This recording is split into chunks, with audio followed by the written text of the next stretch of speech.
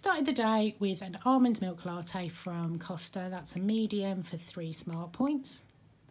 This is my lunch for 10 smart points. I've got two slices of Warburton's toasty bread, that's 90 grams, which is six smart points. I've got some salad leaves in there for zero points. I've got two slices of Aldi Wiltshire ham, it's the thick cut one, which is two smart points. I have got 19 grams of Lidl's Light and the Light mayonnaise, that's zero smart points. And I've got a pack of the WW lightly salted crinkle cut crisps. I got those from Poundland the other day. They are two smart points. So that is my lunch for 10 points. This is my afternoon snack for seven smart points. I've got a cup of tea and in there I've got 60 mils of semi-skimmed milk which is one smart point. Then I had one of these yesterday, so this is my second one. It is a toffee cream meringue from Tesco's. They are six smart points each, which is absolutely brilliant on points. They're really nice. So that is my afternoon snack for seven smart points. I've got some tin peaches and a protein pot for two smart points. I've got half a tin, massive tin of Lidl's peaches in juice. I've drained the juice off, they are zero smart points. And I've got a Lidl vanilla protein pot for two smart points.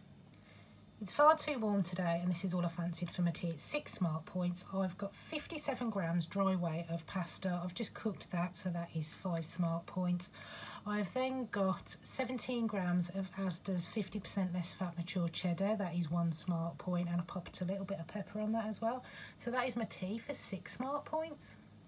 These are my evening snacks for eight smart points. I've got some raspberry sugar-free jelly. I've made that up as per instructions with boiling water. Then instead of adding cold water, I've added diet lemonade. It just gives it a little bit of a fizz. That is zero smart points. I've got a Lidl vanilla protein pot, which is two smart points. I've got a pack of M&S pop potato chips. They're smoky barbecue flavour. They're from a multi-pack and they are three smart points. I've got a banana for zero points and I'm only having one of these. I just thought I'd show you what they look like.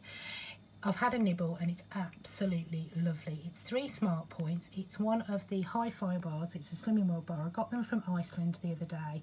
So that's three smart points for one of those. And that's eight points for my snacks. And I'm ending the day on 36 of 30 smart points.